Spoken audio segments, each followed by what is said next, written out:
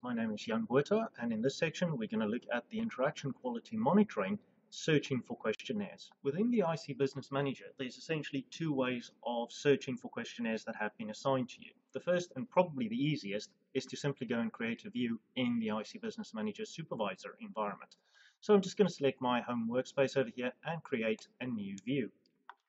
Selecting Interaction Quality Manager on the left hand side over here, you'll notice that I've got an option over here called recordings to score. If I select that, it'll open up a little wizard asking me which recordings or uh, evaluations rather I am looking for. I'm just going to search for the last week's worth. You can see scorecards that has been assigned to you, scorecards that has been assigned and started but not completed, or indeed finished ones. I'm simply going to leave it under assigned and incomplete.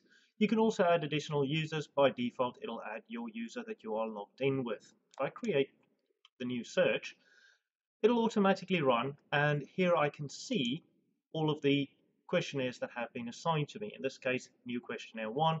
And if I highlight it, I can actually run the scoring straight from here by simply select, uh, selecting the option called score recording.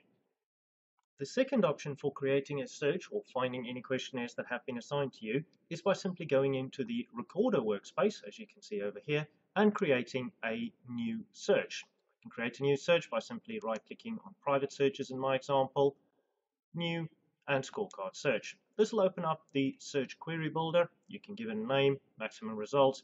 In the attributes dropdown, you will notice that all of the options are now scorecard based. So if I, for example, want to go and search for all evaluations that has been assigned to me as a user, I can simply select scorecard individual or scoring individual, selecting user, and then from the drop-down menu, or indeed just by typing it in, I'm simply going to select the IC administrator, which is the user I'm currently logged in as. Hit create search, it'll go and create the search for you, and you have got your search results view, nice little graphical display showing how many have been assigned and how many have indeed been completed. From the list view, I can go and view all of the information. So, say for example, questionnaire one, and I can also go and open up the questionnaires here and I can even complete them if I want to. Okay, in this case, this one has already been completed as you can see at the top here. In this section, we had a look at the interaction quality monitoring side of things and how to search for questionnaires that have been assigned to you. Thank you very much for joining me. See you again soon.